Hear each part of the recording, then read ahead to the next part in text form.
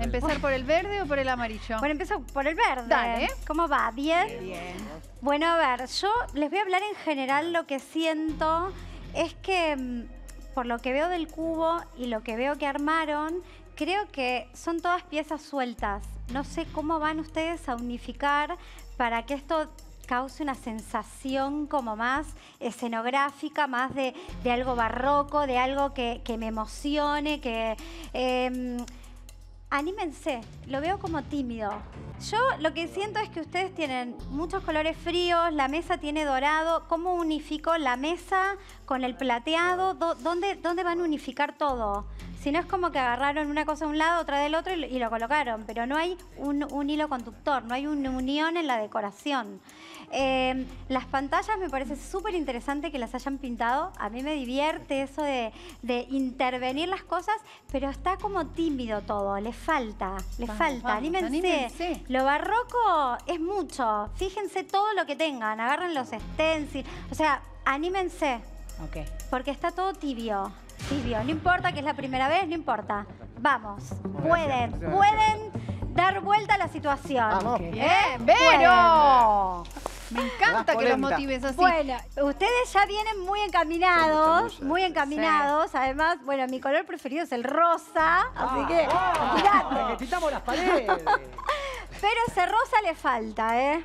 Pero la pared helada te gustó. La pared helada me encantó, la combinación de la columna dorada está muy bien, pero focalizándome acá, eh, creo que es muy ingenioso lo que hicieron con, con- con esta guarda, si bien ya dijeron todos el tema de que no es lo más funcional, pero me parece que para el momento de lo que están armando y mostrar una idea, es increíble. Me gustan mucho las patas de la, silla- de la mesa que son como candelabros. Sí, Tiene como la parte blanca del candelabro, me bien. lleva como una cosa de, de- de fantasía muy escenográfica.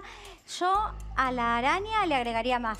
Si tienen más, pónganle más, no importa, pónganle caireles, pónganle un- una bocha de cristal o alguna cosa que se puedan inventar, o armen una borla con Y la hacemos algo colgante. y la hacen colgante, pueden entala- entelar la araña, la, la cadena con el Ah. mismo terciopelo rosa de la pared. Es buenísima esa. Ah, bueno. ¡Ah!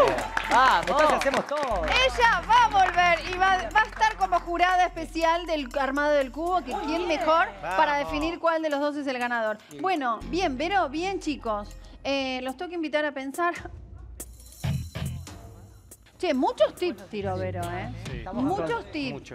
Así que vamos a ver entonces qué definen. Ya estamos llegando al final del programa.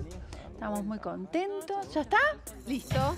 Sí. Tenemos la definición dividida, unánime, Unánime. Entonces, el ganador del desafío del día de hoy, con nuestra invitada especial, es Vero. El ganador de hoy, unánime esta decisión, es el amarillo. Muy bien. ¿Querés decirnos los porqués? Sí, en realidad eh, lo que vemos es que tiene como más equilibrio en todo lo que fueron armando. Todo está como más pensado en, un, en una terminación total, eh, que es un poco, bueno, yo lo- la última devolución que di, ¿no? O sea, eh, y se arriesgaron un poco más, no le tienen miedo a, más es más. Claro. Exactamente. Más es más en este caso. Y ahora sí, gracias Vero. ¿Volvés mañana? Vuelvo mañana. Porque el cubo se